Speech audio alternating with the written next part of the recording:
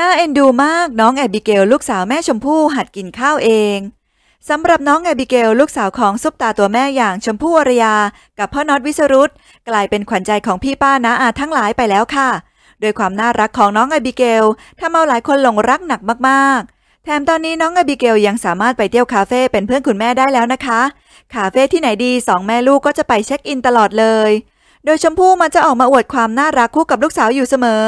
คุณแม่กับลูกสาวแต่งตัวสวยเก๋ไม่มีใครยอมใครเลยล่าสุดชมพู่ก็ได้ออกมาเผยภาพของลูกสาวน้องแอบิเกล ขณะที่กำลังนั่งอยู่ที่ร้านอาหาร ซึ่งตอนนี้น้องแอบิเกลก็อายุ 11 เดือนแล้ว คุณแม่ก็เลยให้ลูกสาวหัดกินข้าวด้วยตัวเอง ที่ผ่านมาใช้แต่มือจับอาหารกิน แต่ว่าตอนนี้สาวน้อยจะต้องเริ่มหัดใช้ช้อนตักกินเองแล้ว น้องแอบิเกลกินอาหารได้น่าอร่อยมากๆเลย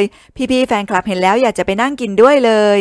ดูจากท่าทางแล้วคงจะอร่อยมากๆเลยใช่ไหมลูก มองแต่อาหารในจานของตัวเองไม่ละสายตาเลย น้องไอบิเกลกินข้าวด้วยตัวเองอย่างคล่องแคล่วเลย พัฒนาการดีเติบโตสมวัยมากๆเลยลูก